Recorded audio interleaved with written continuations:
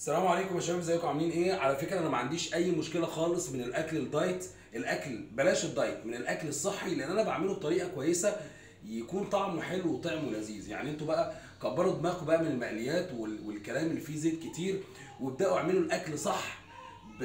ب... بالطريقة الصحية. إزاي بقى؟ دلوقتي إحنا عندنا فراخ تمام؟ جيت أدور على صدور ما لقيتش صدور فلقيت وراك فجبت وراك.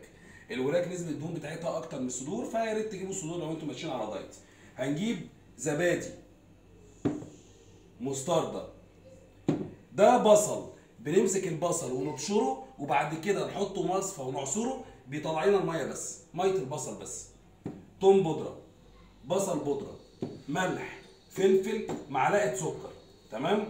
بنبدأ أول حاجة نجيب مية البصل أهي. مية البصل. نقوم حاطين فيها الزبادي. ليه بقى بحط الزبادي؟ علشان الزبادي بتخلي التتبيلة طرية وبعد ما تتحط على الجريل وتتشوي ما يبقاش فيها أي مشكلة. المستردة.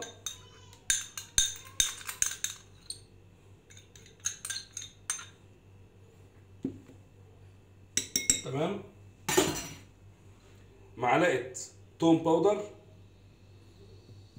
معلقة بصل powder معلقة ملح. معلقة فلفل أسمر. ومعلقة سكر. وعلى فكرة يا جماعة التتبيلة دي لو قلنا إن التتبيلة دي كلها تتحط على كيلو أو 2 كيلو آه على كيلو هنلاقي إنها ما فيهاش مشكلة خالص. وهنمسك بالمعلقة ونقلب الخلطة دي.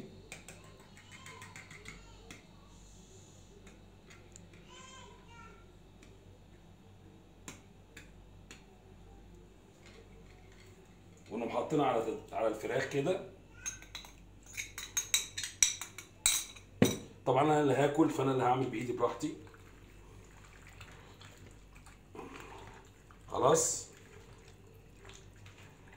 بعد ما ما, ما نقلبها كده في بعض جامد وتتشرب خالص هنحطها في التلاجة ساعتين ونبدأ بقى نطلع منها قطعتين ثلاثة نحطهم على الجريل. أول حاجة هتجيب الطاسة وممكن تحط فيها سنة سمنة صغيرة. سنة سنة صغيرة. بحيث بس عشان ما تلزقش. ونحط عليها ال- الفراخ بتاعتنا هتبقى لذيذة جدا وطعمة وأحسن من الفراخ المقلية. وكمان مغذية وصحية. بصوا يا جماعة أنا مش عامل فيديو ده لأمي. يعني أنا عامل لكم أنتوا الفيديو ده. يعني إيه؟ أمي بتعرف تطبخ وأنا الحمد لله بعرف أطبخ. فأنا عايز أفيدكم بالفيديو ده. فبعد إذنكم share للفيديو عشان يوصل لأكبر عدد. وإن شاء الله الأيام اللي جاية فعلا والله هنعمل لكم فيديوهات عن نصايح أو إزاي نعمل أكل صحي يكون آه طعم. عشان ما تزهقوش من الدايت. أقسم بالله تحفة.